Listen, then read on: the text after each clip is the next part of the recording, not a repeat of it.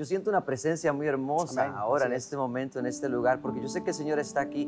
Hay algo acerca de la fe que sucede, eh, y es que cada vez que hablamos de la fe, hay una atmósfera que, es transformada, que cambia completamente. No importa si usted está en un hospital con un, con un diagnóstico terrible, en el momento que se habla de la fe o se lee de la fe, hay algo que sucede en el ambiente y en la atmósfera. Yo siempre digo, Roger, que cuando que cuando estamos acerca, eh, que cuando estamos cerca, vamos a decirlo así, cuando estamos cerca, a un paso cerca de la fe, ese pasito cerca de la fe es la duda. Porque hoy yo tengo fe, hoy yo tengo fe por causa de que un día dudé. Un día yo dudé tanto que para mí era imposible que esto podría suceder. Y de repente Dios respaldó mi obediencia. Y esto es lo que la gente muchas veces no sabe o no entiende que la fe no es un asunto de, de, vamos a decirlo así, como una sustancia que se manifiesta delante de un imposible. No, no, no. La fe tampoco tiene que ver con suerte. La fe tampoco tiene que ver con, con que yo creo, creo, creo, creo, creo que voy a recibir esto y lo voy a recibir, ¿verdad? No, la fe tiene que ver con, número uno, el oír la palabra de Dios. cuando escuchamos la palabra de Dios, cuando nosotros escuchamos la palabra de Dios, la palabra de Dios es la ley de Dios.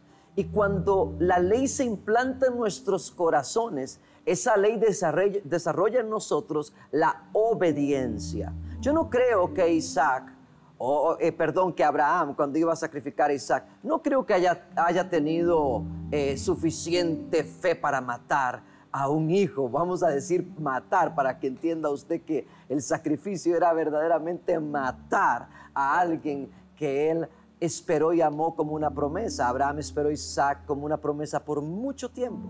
Pero hay algo interesante en toda esta historia.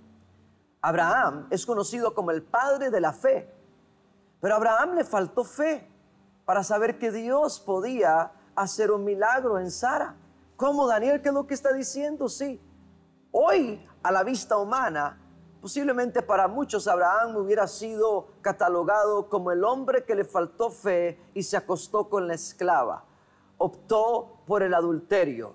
Ah, qué hombre más adúltero. Pero cuando la gloria de Dios se manifiesta y hay un corazón queriendo ser restaurado para obedecerle a Dios, entonces Dios cambia la historia. Abraham no es conocido como el hombre que le faltó fe y se acostó con la esclava. Abraham es conocido como el padre de la fe, porque todo lo que la gloria toca, cuando establece su ley, Dios es un Dios de ley. Y cuando Dios establece su ley en un corazón apto para obedecer, la obediencia trae una fe que jamás pensaste que podía ser manifiesto.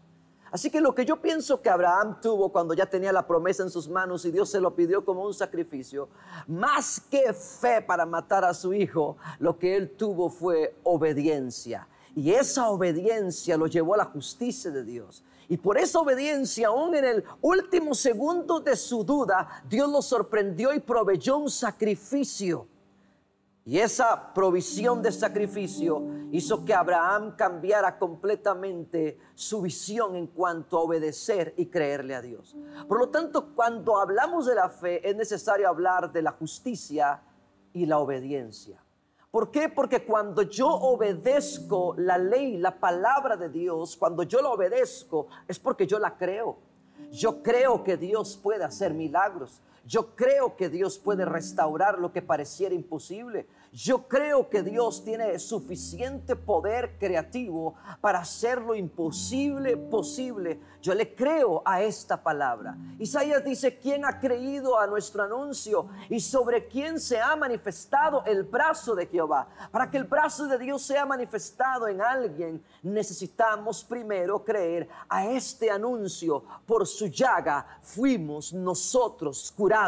Yo decido creerle a este anuncio. Y yo quiero que usted ponga su corazón y su confianza en el anuncio de la palabra de Dios, que el verbo se hizo carne. Ahora la palabra y los mandamientos ya no están externos a nosotros, sino que ahora habitan en medio nuestro, está en nosotros.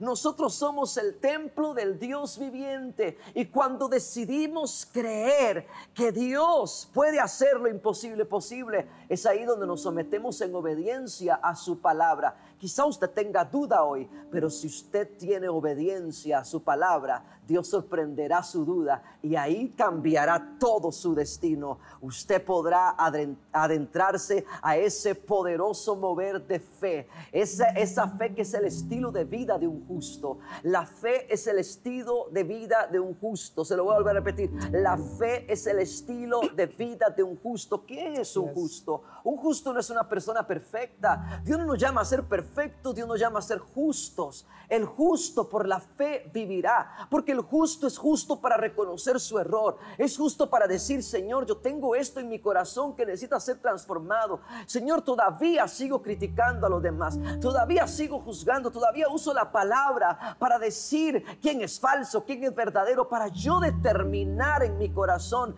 qué sí se puede hacer y qué no se puede hacer, como si el reino necesitara defensores, como si el reino no se pudiera defender por sí mismo y como si si el reino no tuviera suficiente poder para defenderte a ti, para defenderme a mí. La palabra de Dios no es para que nosotros nos levantemos como jueces, sino como justos. Y el justo abraza la ley en obediencia y mira hacia adentro. La ley no es para mirar, hacia afuera para ver quién pecó. La ley es para mirar hacia adentro para ver cómo estoy yo. Señor, aquí hay un altar que necesita sacrificio. Aquí hay un altar que siempre estará dispuesto a entregarte en obediencia lo que tú estás pidiendo.